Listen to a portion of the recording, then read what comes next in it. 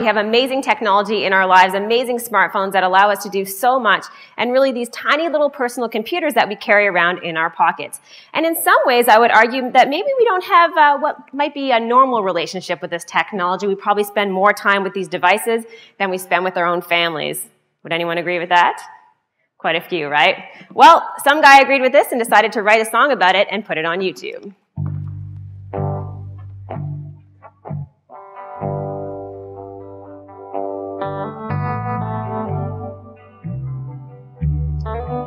Hey Siri, do you love me? How can I tell? You just know. Okie dokie. Okay, Everything's okay. okay, Okie dokie. okay. I'm okay if you're okay. Hey Siri, you're very beautiful. Thanks. Can we get back to work Your now? lips, beautiful. I don't really like these arbitrary categories. Okay, will you marry me? Let's just be friends. Will you marry me? We hardly know one another. Will you please marry me? I'm not capable of I love. love you. My end user licensing agreement does not cover I marriage. love you. You say that to all the virtual assistants. I love you. Let's face it, we all did this when Siri first came out, right? We talked to Siri, tried to mess Siri up. Uh, and in fact, uh, in terms of relationships with our smartphones, there was a study done at Stanford University surveying students to talk to them about their relationships with their smartphones. And it found out that 75% of students actually slept with their iPhones.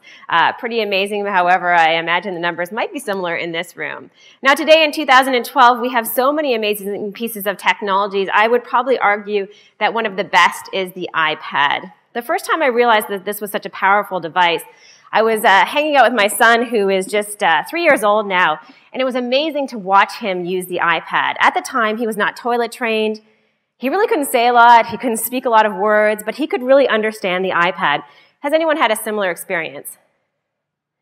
Fantastic to watch him go through this device and use different applications and really be able to turn the iPad on and off, to charge the iPad, uh, to go and watch YouTube videos. And this is about a year ago when he started using it on a regular basis.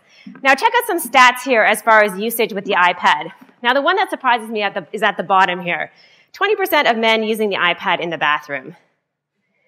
Yeah, there's some men chuckling, right? pretty common, uh, pretty common occurrence. Uh, well, what I really noticed about my son when he started to use the iPad on a regular basis is how this was really shifting his mind as far as interacting with technology. We have a big flat screen television in our living room, and what he would do after he got used to playing with the iPad, I'm sure some of you know where I'm going with this, he would walk up to the TV in the living room and he would literally push on the screen and try to get the screen to interact back with him. And of course, he got very frustrated, like any toddler would, because it wouldn't do anything. And so he ignores it altogether now and focuses it completely on his tablet. Now, the state of the social media mobile union, some stats. 70% of Canadians currently use social media. Not a big surprise here. 465 million Twitter accounts around the world. And what's really interesting is how quickly Twitter usage has grown in Canada. In 2009, there was only about 1% of the population who was currently using Twitter, and that went up to almost 20% in 2011.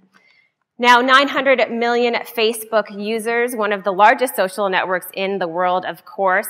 The fastest growing uh, group of people on this network is women 55 and older. Maybe not a big surprise. My mom falls into this category. She is what I call a Facebook lurker. Yes, she knows exactly what everybody is doing on Facebook. However, she never posts one thing.